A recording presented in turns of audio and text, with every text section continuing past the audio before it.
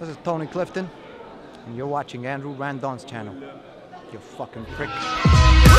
Jixfet jabib xod li rijet il-koxra Da' ef xie morsa ġis u jxrijet Għajn tila bit-tobla t-biet mill-ohra Skur nizel mid-droga Dan nizel bil-forza Xindan xmixkel fil soda u sirt fix tlef l-ohra Bam, bħal vampir fil-mudlam Bħal rambo mid-duħan Bħal bandi fuq il-wan reġa għam Azza isu keb dar razza tal-kaċċa fil-passa U dar kienem wat abda Fisħa ħaz da tħassar kif sema banne Waqqa fit-triq ta' dil kamra Fejn kien qed jikkaċċa Għax il-kamra fil-fat ma kien Ikke nishta Evil hero legit Steve Liza tar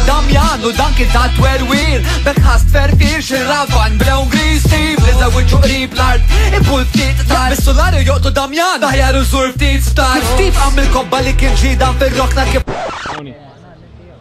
Let me buy your life. I'll tell you about my life before I was fucking flown over here. I was sniffing cocaine off of Halle Berry's tits.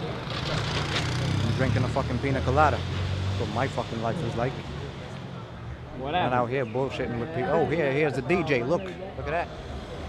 Hey, uh, how you doing? He's a DJ. how you doing? Well, fuck off then, yeah? What? Bis kif kienu appena sa jiftħu, Steve Stembach u bħal Paolo Borġbonaċ meta jgħidu li jadfad l-aħħar donat għalep il-kulħat għam u ġera men kemm alla taħt saħħa ġera.